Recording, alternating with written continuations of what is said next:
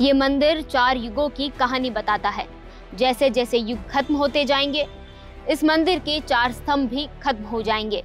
हम आपको बताते हैं एक ऐसे मंदिर के बारे में जो युगों की कहानी बताता है।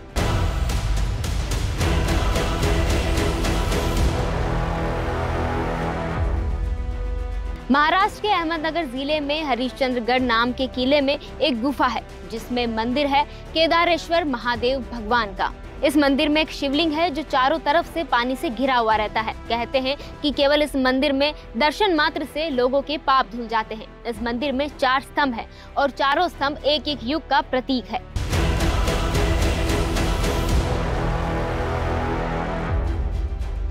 ऐसा कहा जाता है कि इन स्तंभों का निर्माण सतयुग त्रेता युग द्वापर युग और कलयुग के प्रतिनिधित्व के रूप में किया गया था।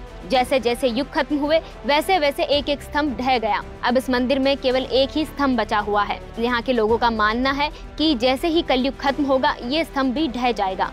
इस मंदिर से जुड़ा एक और रहस्य है, जहाँ पर एक तालाब बना हुआ है, जिसका पानी कभी सूखता नहीं है। गर्मी में ये पानी ठंडा और सर्दी में इसका पानी गर्म रहता है। ऐसी और भी रोचक जानकारियों के लिए नेशन मिरर के सभी सोशल मीडिया प्लेटफॉर्म को फॉलो करना ना भूलें।